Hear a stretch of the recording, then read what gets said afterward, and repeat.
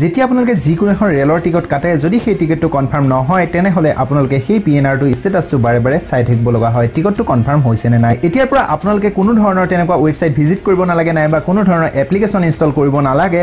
আপোনালোকৰ হোৱাটছএপতে আপোনালোকে সকলোবোৰ পি এন আৰ ষ্টেটাছৰ লগতে আপোনালোকে যদি ট্ৰেইনত যাত্ৰা কৰে কোন ঠাইত পাইছে সকলোবোৰ ইনফৰ্মেশ্যন আপোনালোকে হোৱাটছএপতেই ল'ব পাৰিব। মই চিত্ৰঞ্জনে আপোনালোক সকলোকে পুনৰবাৰ স্বাগতম জনাইছোঁ আমাৰ এই ডিজিটেল সহায় ইউটিউব ফেমিলিলৈ আহক তেন্তে দেৰি নকৰি ভিডিঅ'টো আৰম্ভ কৰোঁ।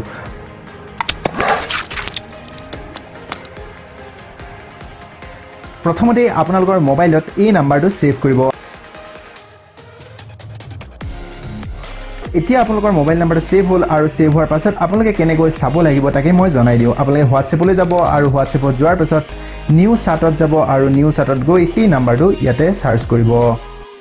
এতিয়া আপোনালোকে দেখা পাইছে ট্ৰেইন ষ্টেটাছ বুলি এটা নাম্বাৰ আহি গৈছে। এই ট্ৰেইন ষ্টেটাছ নাম্বাৰটো আপোনালোকৰ মোবাইলত ছেভ থাকিব কাৰণ অলৰেডি আপোনালোকে ছেভ কৰিছে। এতিয়া যদি আপুনি যিকোনো এখন ট্ৰেইনৰ নাম্বাৰটো যদি ইয়াতে দি দিয়ে অৰ্থাৎ মই এনে কৈ দিছোঁ one two three four five এই এইটো হৈছে এটা ট্ৰেইনৰ নাম্বাৰ এই নাম্বাৰটো দিয়াৰ পাছত আপোনালোকে গম পাব ট্ৰেইনখন বৰ্তমান কোনখিনি পাইছে কেনেকৈ চলি আছে সকলোবোৰ ইনফৰ্মেশ্যন ইয়াতে দেখা পাব।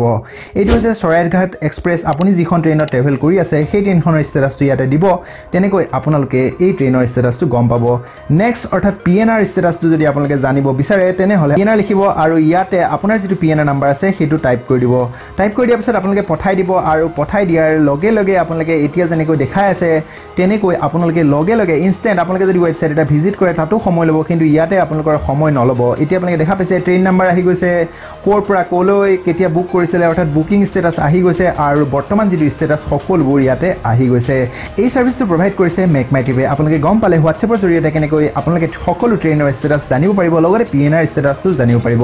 ভিডিঅ'টো যদি ভাল লাগিলে সকলো বন্ধু বান্ধৱীলৈ শ্বেয়াৰ কৰি দিব নাপাহৰিব লগতে তেওঁলোকক জনাব যাতে আমাৰ চেনেলটো ছাবস্ক্ৰাইব কৰে। আজিলৈ এৰিছোঁ অন্য এটা ভিডিঅ' লগ পাম। ধন্যবাদ জয় অসম।